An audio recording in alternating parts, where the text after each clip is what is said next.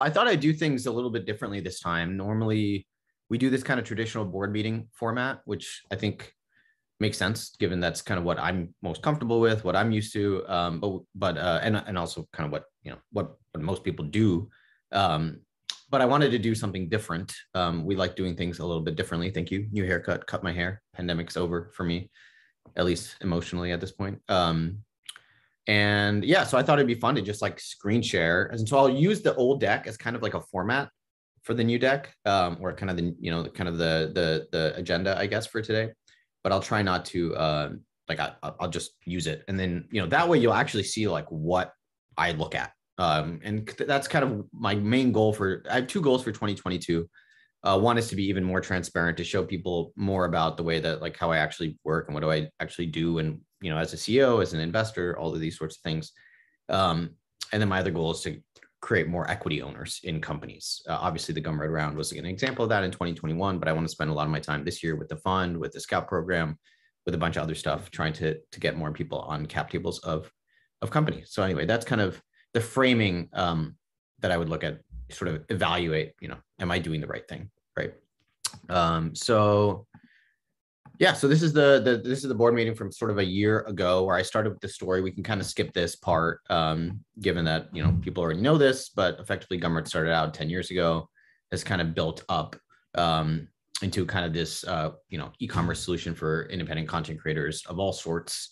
Um, and this is kind of what it looked like a year ago.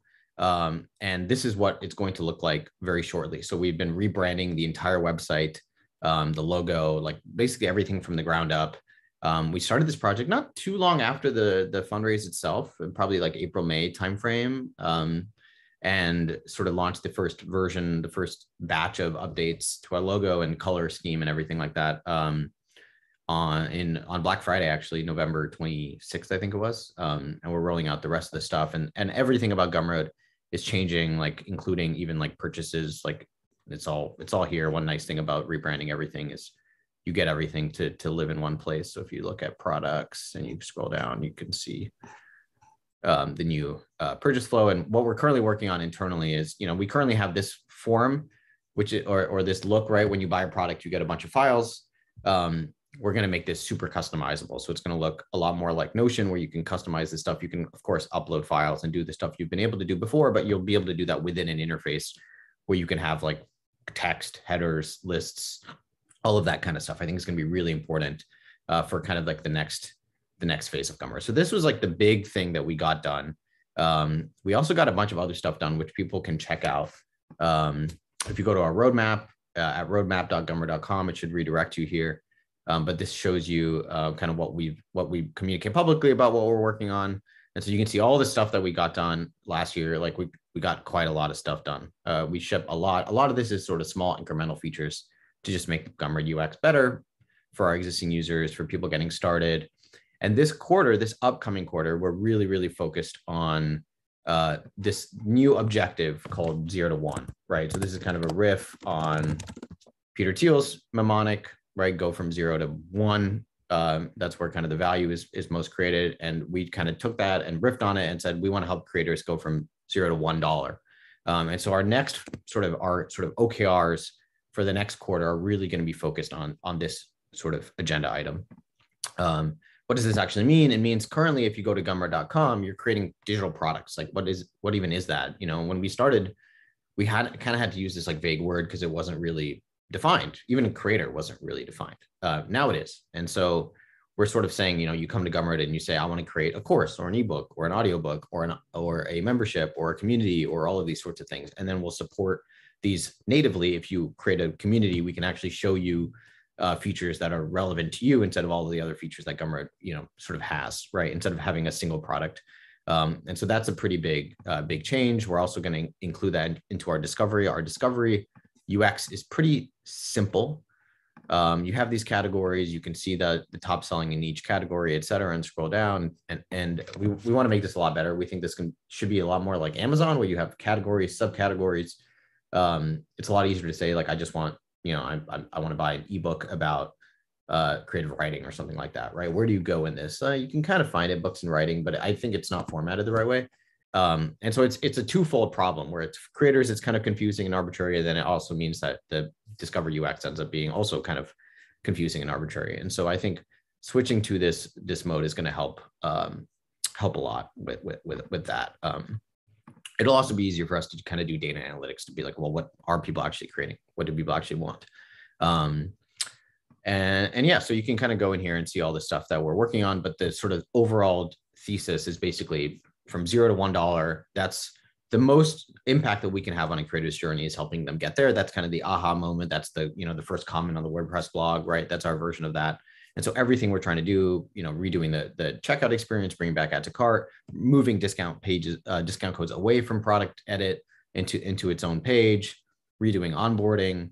A lot of this stuff is going to be where our uh, where our, our time is spent. And so this is an internal document, which is we use OKRs, or we're starting to use OKRs again.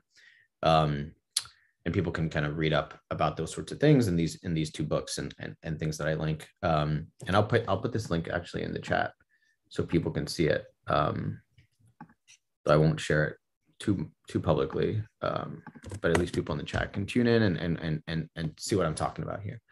Um, so I mentioned the rebrand. The rebrand is our big project. It's a huge document. We're making good progress here. Um, this is we're going to write a post about this, so you'll kind of get a deep dive on how we actually like made this happen. Um, we're adding a bunch of KPIs to, to our main da- Geckoboard dashboard. Um, so I already shared the brief metrics, but I'll, I'll kind of share the metrics that I look at day to day. So this is kind of like the, the high level. And so this is what I look at, um, 24 hour volume, revenue, um, month to date and volume month to date. These are, this is kind of like the most important, right? These two.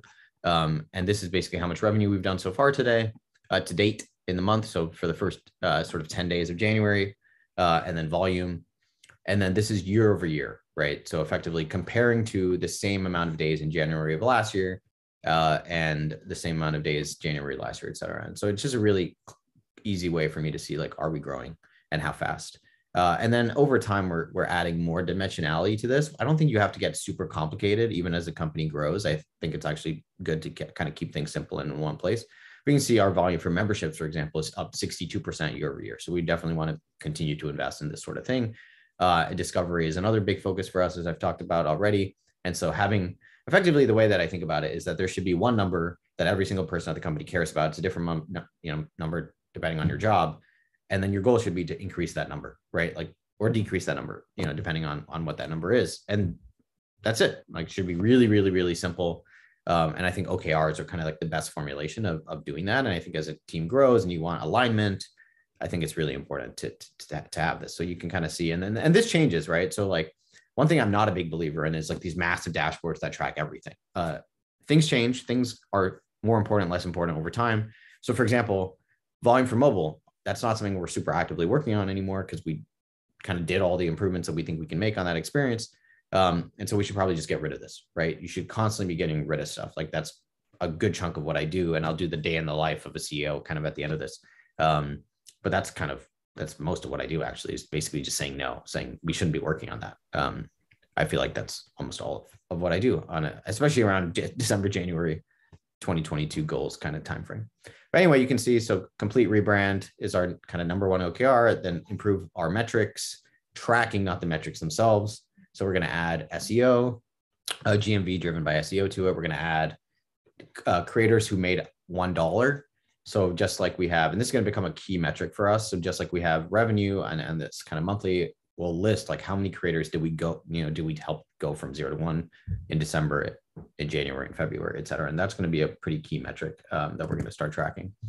Um, and then dollars uh, processed per support ticket, I think is the single metric I'll be using to kind of monitor the efficiency of our kind of support, which should be getting more and more efficient over time, hopefully uh, as we get economies of scale. And so tracking how much of GMV is actually being processed, you know, you could write like track creator earnings um,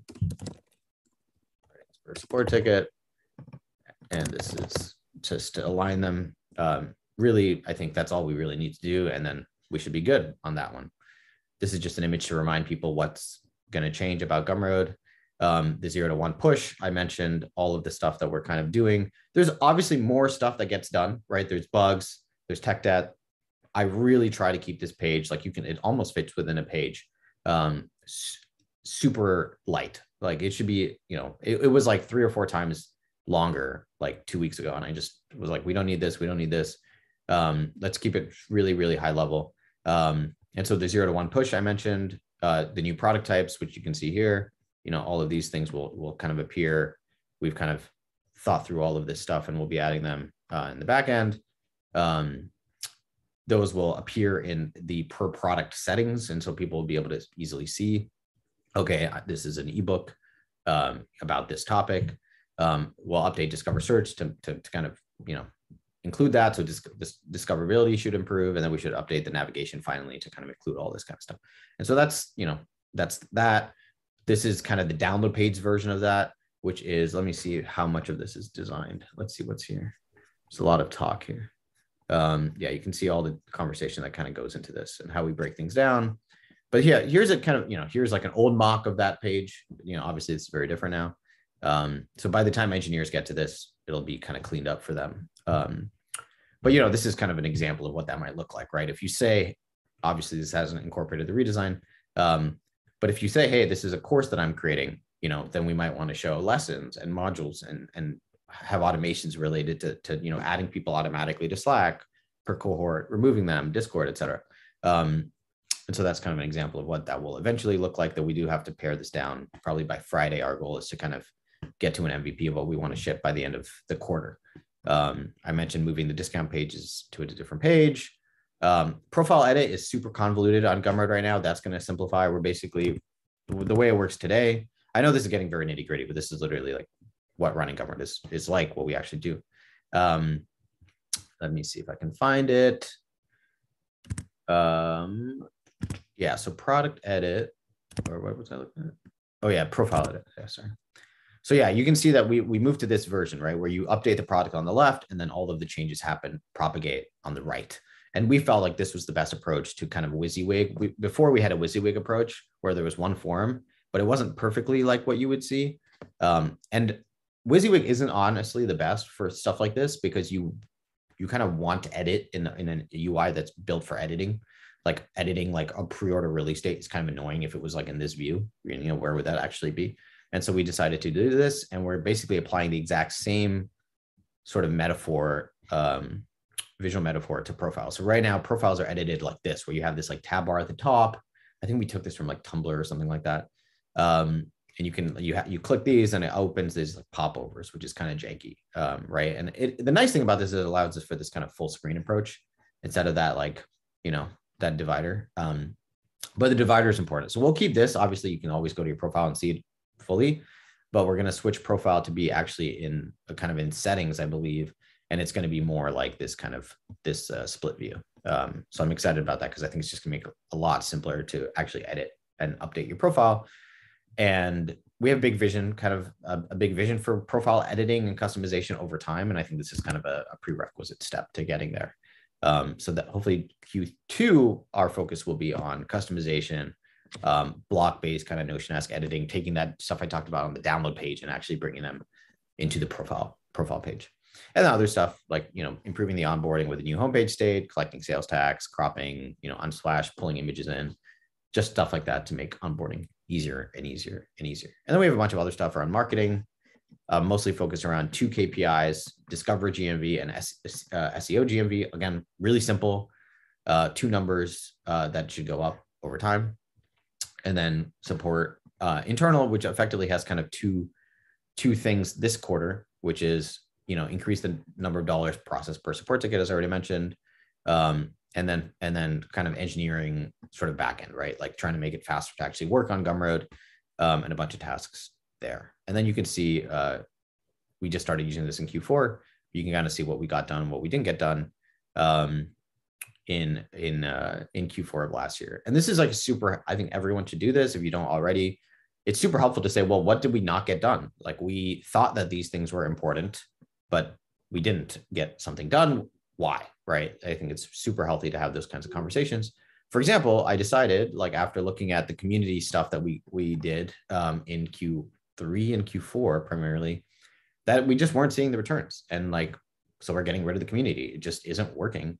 Um, and the way that I think about it is like every creator who signs up for Gumroad has to like understand everything about Gumroad, which is like that's like adding a new item to like the McDonald's menu, right? Where you have to train every single franchise now that like how to make a milkshake and figure out all the supply chain issues and like what happens if it breaks and this and that. Um, and every new person you hire has to learn this, and every new customer has to learn, you know, like all these menus have to like there's just so much that goes into to like training a new user of anything. Um, and so I think it's like really important to say, okay, we tried like 10 experiments and three of them worked and let's just double down on those three and get rid of those 10 and try another three. And so we'll do six things this year and you know out of the new three like one will work or two will work or maybe all three will work or none of them will work. Um, i just think it's it's really important. Like failure is you know kind of failure is like defined as failure to not fail right? Like it better it's that's a better way to define failure i think than like not doing things. So anyway, let me let me see what questions people have before I jump to the to slides again and see see what people are um, asking. Do you have a question that I think will naturally come up? Is best selling on Discover based on ratings or revenue? It's based on revenue uh, and specifically number of sales. Um, so the same same way that Amazon kind of does it, which is highlights number of sales. Uh, and revenue is a combination of, of a few things, but but I believe the sort of highest exponent part of the algorithm would be number number of sales. Awesome. So yeah, that's kind of a preview of all this stuff and how we think about you know actually shipping stuff at Gumroad. Um, literally like what I look at. I also have this metrics dashboard. This is like what I use to um, generate the graphs. I'll put this into the, uh, the chat as well.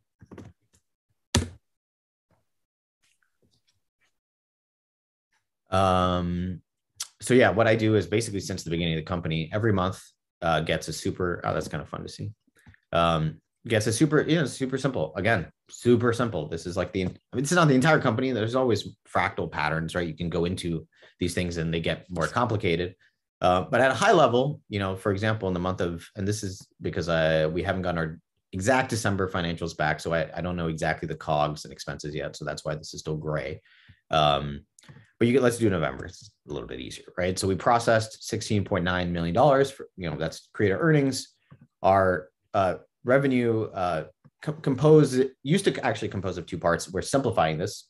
Uh, as I mentioned, simplification really important. We used to have a premium service offering that was making us $80,000 a month.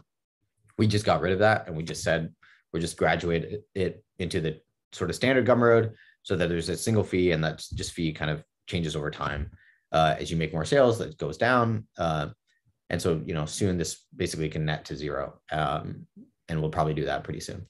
So that's why we have two columns, you know, at some point this, these will all kind of be zero. Um, and I can kind of actually probably assume zero is probably what I should be doing because these are projections. So we can assume, you know, it'll be a little higher than that because there's still a few people who've kind of been grandfathered into the old plan, but you know, anyway. Um, so yeah, anyway, uh, revenue that, you know, effectively these things will be equal over time. GMV, this is just helpful for me a little bit. If you, you know, February has 28 days, some days have, you know, some months have 31. Um, so I have this there. Um, COGS, which is effectively what we spend, uh, which is hosting, payment processing, fraud risk. Um, and that might be it actually. Like that's it to run a sort of a marketplace business, right? You need to accept payments, you need to pay people out. That's payments. You have some fraud and you have hosting, right, to operate the website. You have other fees, like you know, Amazon, et cetera.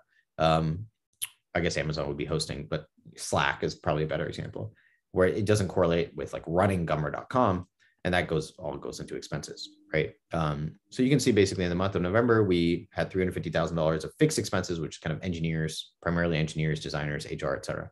Um, and that means we we had a net profit of negative 85,000. So we lost, we burned basically $86,000. Um, this is, again, this is like super simple. Um, and we made money most of the quarters. One reason we raised money is so we could grow the team faster than we can afford. So we're still doing great. I think we're still up for the year. So not a cause to worry, but um, yeah, it looks like we're up 663,000 for the year. Um, and this was also because we did the big rebrand. We had a bunch of people help out. So this should go down pretty aggressively, pretty quickly um, in December and January, et cetera. Um, so anyway, that folds up into these numbers. And so I look at, I do it kind of per year and per month. Uh, so you can see the per month here since the beginning of the company, and then revenue per month here. Um, and so you could see kind of the pricing. The bet, the pricing bet was like kind of a scary one, to be honest, um, which I we talked, we mentioned here. uh, but was really important. Like I really felt like it was just better. Like our pricing it just makes more sense. It's the right thing to do. Um, and it looks like this, where it starts at 9% and it goes down to 2.9%, which is effectively what you'd be paying Stripe, which I think in the short term is going to lower the GMV that we do, or sorry, lower the revenue that we do, but hopefully increase the GMV over time. And then we can have value added services for creators that will effectively like make it great for everybody, sort of positive sum over the coming years, right? That's not going to happen immediately. So that's kind of what we saw where earnings kind of continues to grow. Revenue has dropped a little bit. Um, but I think that's that's okay. And then this is kind of like abstracted out over, you know, uh, blended on a yearly basis. And then I track year over year and year over year uh, for for both revenue and volume, which is basically what you saw on the Geckoboard, right? Those like green numbers. Um, but this is kind of what I look at. And then I have sometimes I do kind of cohort analysis every once in a while uh, to kind of see where the GMV is coming from. Like obviously 2020 was crazy because of COVID. Um, and then it has kind of peaked and it's kind of it normally generally stabilizes at around like 80% of the peak. And you can see this on a cohort basis. All these other cohorts have a similar behavior. So you can kind of gauge, um, you know, kind of the cohorts over, you know, kind of LTV, I guess, um, pretty easily based on that. So that's metrics and 2021 uh, stuff. I talked about what we're shipping in the future. Um, what else uh, does anyone have questions? Any any any stuff that people want to uh, ask? Lucas has a question. Uh, sounds like pretty healthy financials. Are there any talks about going public? And let me stop sharing my screen.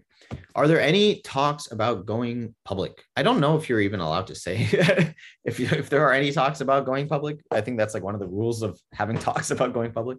Um yes i would love to go public at some point. Um I don't want to sell the business, and there's only really two ways to get liquidity, and and uh, one is selling the business, and the other is you know going public, which is effectively kind of quote unquote selling a percentage of your business to the public markets. Um, we kind of went public in a sense, in you know March 15th, we raised five million dollars from 7,300 people. Uh, I want to do the exact same thing again. Uh, so let me share a link uh, on how to participate in that. Uh, I will share more and more details about that. Um, but there's more information in the link that I just pasted in the chat. And if you're watching this on YouTube and you want to know more, just DM me on Twitter at SHL. And I'll, again, I'll share more as we head towards March 15, 2022, which is when we'll be raising another uh, chunk of cash. Um, but yes, basically the way that I'm thinking about it is that eventually Gumroad will be a public company. Uh, it'll be liquid, just like any other public company. What does that actually look like? You know, generally you cannot really go public unless you're worth a billion dollars. It costs around two hundred fifty thousand dollars a year to to be a public company and stay a public company and become a public company. Like it's not easy. Web three, crypto, all that kind of stuff. People can talk about how that solves all these problems, which is true in some sense on a tech basis, but not on a really a regulatory basis. For so for Gumroad to go public, um, that is the plan. And I'm talking like I met with the New York Stock Exchange. I'm having a lot of these kinds of conversations. The plan in the short term is to basically continue to use Reg CF, et cetera, to raise you know these kind of batches of financing at sort of marked up valuation. So we did this last round was 5 million at 100. This next round will be 5 million at between 185 to 225 million um, based on how the next couple months go for us. Um, uh, I'll pick kind of a number, but it'll, it'll be, you know, kind of assume around $200 million valuation pre-money. Um, and then we'll kind of just, hopefully as part of that, I'll, you know, people who participate in the last round, they want to sell a proportion instead of buy, like I'm trying to see if I can facilitate something like that. So it's almost like liquidity, except it's like one event per year instead of 24 seven, uh, or what, you know, whatever the stock markets allow. Um, so yeah, that's kind of how I'm, how I'm kind of thinking about it. So hopefully, hopefully that answers, answers your, your question.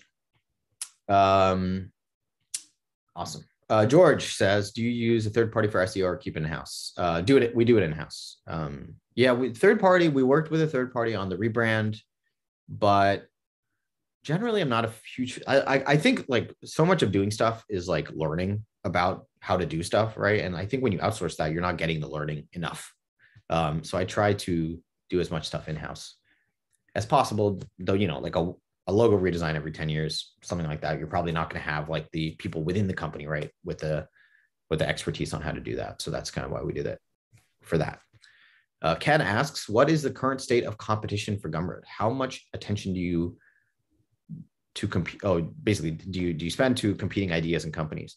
Um, I do spend time in the sense of like passively, right? Because I'm on the internet, so I'll see stuff all the time, and people DM me, you know, uh, about about competitors and other things frequently. Um, but honestly, not much. Like I, I think the way to think about it is, you know, we have creators, um, and then maybe we have sort of adjacent creators, right? Creators adjacent to our current creators who don't use Gumroad but may. Uh, what problems do they have? Can we help them? You know, and effectively the way we think about it is like, can we help them make more money? Can we help them save money?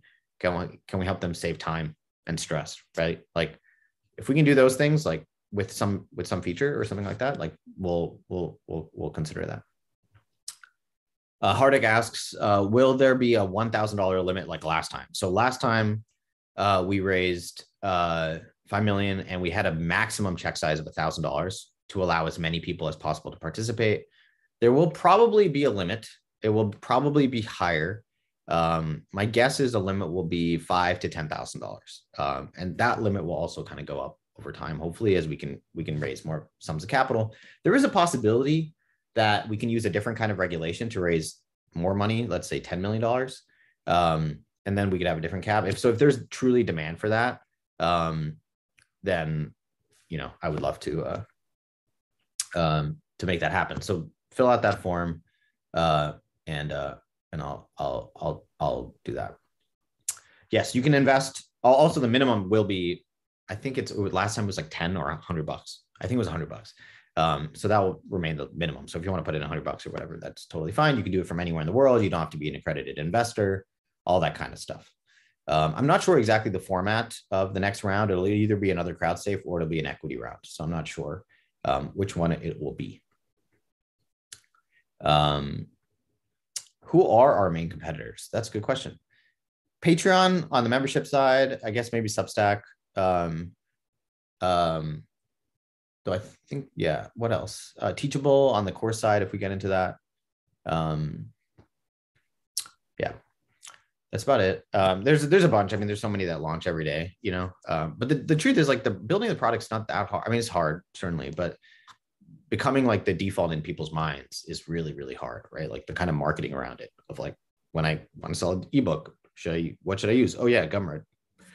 Getting that position, kind of SEO in someone's brain right? Like search, yeah, like that's that's that's that's I think that the, the the most valuable thing you can do.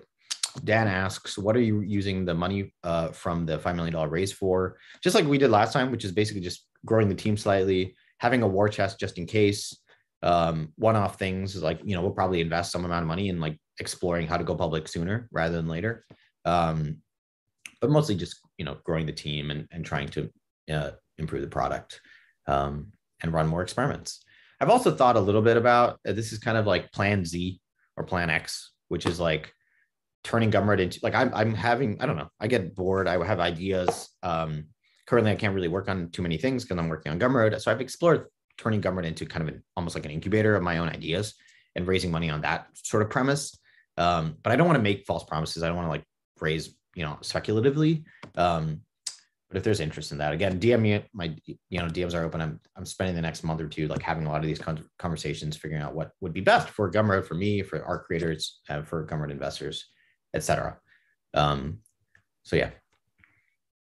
Did the crowdfunding round, Jono asked, did the crowdfunding round act as a marketing event that helped increase creator acquisition or some other metric like revenue? Was it impactful? It definitely was impactful uh, in, in two ways, I will say. One, definitely marketing. Like I think a lot of people saw that crowdfunding round. I think I don't know what the number was, but you know, in the millions of people. Um, most of them are not, you know, creators on Gumroad today. Um, so you know, you can kind of debate like the value of something like that, but I do think it was it was pretty valuable. The one super valuable thing that we I've seen from it is recruiting. Recruiting is like the hardest thing that most startups have to do, and recruiting has been drastically easier um, because every time I need to hire like engineers or designers, I just put it into an email list with 7,000 people who are invested in the success of the company, um, many of whom are designers, engineers, or may know some. And so that that has been like ridiculously helpful. Um, so yeah. The other thing, by the way, I'll mention about the incubator idea that I had um, is that I would love to be able to do more crowdfunding rounds, and like Gumroad can do one a year basically. Um, and so if I can, you know, and I've tried to convince other founders to do it, and some have, like Mercury, I helped do their their WeFunder one. Um, but you know, one hack was like, well, maybe I can just start more companies and spin them out and crowdfund those rounds. So anyway, I'm definitely in sort of an exploratory mode mode right now. Again, as I mentioned in the beginning of the call, like how do I create more equity owners and how do I be more transparent about what I do day to day? Those are kind of my two goals for 2022. Kenneth asks, what user acquisition channels are you primarily focusing on, on for growth? Great question. Uh, 100% organic basically right now. Um, we've thought we've tried some paid stuff. It's never really worked. We're open to it. Um, we might, I think the right approach probably for 2022 in, in terms of a new experiment would be to have a sales team again, which we haven't had in like seven years and hire like one awesome single person and try that experiment out and try like sort of manual sales. Sort of one secret of the creator economy is that a lot of the companies, the way that they grow is by, you know, convincing creators, you know, uh, with emails and calls and things like that to use their products and explain to them. And these things don't just get organically adopted all the time. Um, so that's an experiment that we might we might do. Amanda asks, I invested in the last round. How do we know ROI and tracking that? Yeah, I mean, I think the simple thing to do, and this is what I do personally, um, and I can't, you know, not financial advice, et cetera, not investing advice, but what I do, because uh, I have to price the company, right, um, is I look at sort of public market comps, uh, and I and and private market comps because I have access to some of that data. Um, but I basically say, okay, what are similar companies? Like for example, Shopify uh, is probably the closest um, US. I guess they're not US, but you know, large kind of you know mega scale mainstream company that kind of comps similarly to us. I look at their revenue, I look at their PE ratio, these things, uh, and then I look at sort of what the market pays for kind of private companies. So right now, so for example, I can say that like generally the benchmark for public traded companies is around 20 X multiples. Super simple, super simplified, right? And so that means if you're doing 10 million in revenue, you're worth around 200 million dollars. Um, that's kind of at the low end. It can go up like to 80, 70, 80. Um, and last year, at the end of last year, was like up to 100. Uh, a lot of Series A's right now are done at 100, 100x uh, revenue multiple. So if you're at a million in revenue, you're at 100 million in uh, valuation. Um, and so I just kind of, you know, imagine like a, you know, kind of like a scatter plot, right, of like different metrics and dimensions and gumroad is one of these dots and there are all these other companies and luckily because i'm in the industry like i can kind of i have more sort of visibility into where the dots are and so i kind of just say gumroad seems to be roughly here and honestly like my goal is not to get like an amazing deal if i wanted to get an amazing deal what i would do is i would pitch a bunch of vcs and i would make them compete with each other um, that's not my goal my goal is to pick a fair price something i think is fair offer it to everybody and then people can decide if they want to participate or not um, Eric asks, what percentage of goods sold on Gumroad are digital versus physical? 80 to 90% digital, maybe actually 95% probably digital. Um, good question, you know, because it is kind of existential for us. Like, why do we even support physical if it's so, so tiny? Should we just focus exclusively on digital? We've thought a lot about that. Um, for now, we like having physical because there are a lot of our creators who like want to sell a t-shirt every once in a while. Um, but yeah, definitely kind of a question. Uh, what's your thinking around NFTs? Uh, I have thoughts, like everybody has thoughts. I tweet my pithy hot takes on it. I own a bunch of NFTs, um, but it's probably not a fit for Gumroad right now. Honestly, I think again, like it's not really what our creators and our adjacent creators want from us and need. Um, but eventually, I think, uh, I think, uh, you know, they might be interested in that. So we're always open to it, and and we'll do it. I, I I'm I'm not personally opposed, um, so I'm not the blocker here personally. Um, how are you planning to grow in international markets? Basically, you know, currently everything runs on USD Rails at Gumroad. At some point in the next couple years, we'll probably allow just kind of Airbnb ask where you can price things in different currencies. Kind of the simple. I think that's the number one thing that we can we can do to make that happen.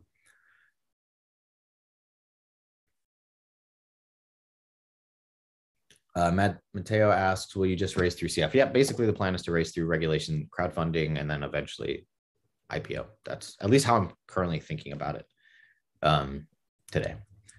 Um, and I will likely be using Republic again uh, for that. Yeah. So Republic, by the way, congrats to Republic. They're now republic.com uh, instead of republic.co. So that is a huge, that's awesome.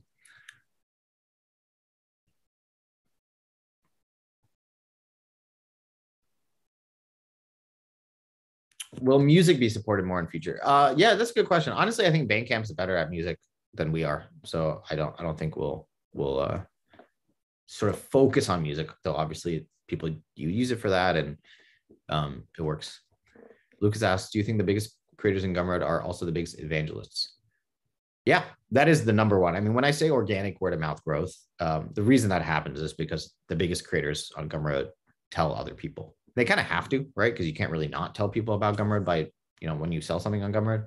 But then hopefully the people that like it go above and beyond and say, hey, you know, I use Gumroad. It's awesome. One thing that we haven't scoped out in Q1, but we will, um, though hopefully it, might fall to Q2 actually, um, is a referral program. So just like, you know, you can sign up for Amazon as an affiliate to Amazon, um, you'll be allowed to uh, to do the same thing uh, with Gumroad. Um, it's complicated. There's a lot of legal complex complexity, but basically, you'll say, you know we'll do something like if you you know refer any sales to Gumroad uh, using Discover, like you'll get five percent of, of all GMV or ten percent or something, something like that. So I think that's how we'll start to explore making our creators more you know evangelists of the of the brand. Um, so let me see. That looks like all the questions. Let me see what other things I want to cover. I cover the metrics. I cover 2021. I cover the 2022 roadmap. Um, what else do I want to? I covered all the questions. Covered the fundraise. I'll send an email recap with a bunch of the links if people miss them. Um, if you're watching this on YouTube, you're going to have to DM me on uh, at SHL on Twitter for now.